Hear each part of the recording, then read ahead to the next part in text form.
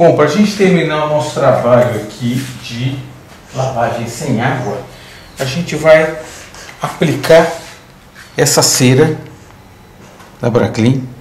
Eu acho que a última vez que eu inserei deve fazer uns 10 ou 15 anos, a gente usava aquela cera em pasta. Esse aqui diz que é um processo bem mais simples, vamos, vamos testar. O carro já está limpo, então em princípio é aplicar e tirar o excesso do produto. Vamos ver como é que é.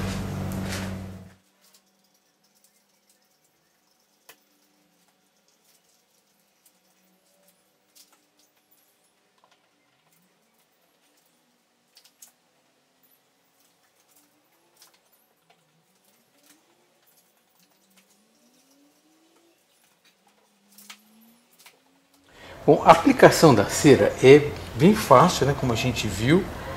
A gente espera secar e a gente pode fazer a remoção. Microfibra seca. Vai passando, vai removendo. É difícil saber o quanto a câmera consegue mostrar. Mas é um, uma aplicação simples. Né? A cera depois de seca, ela não gruda não. Ela é relativamente fácil de tirar.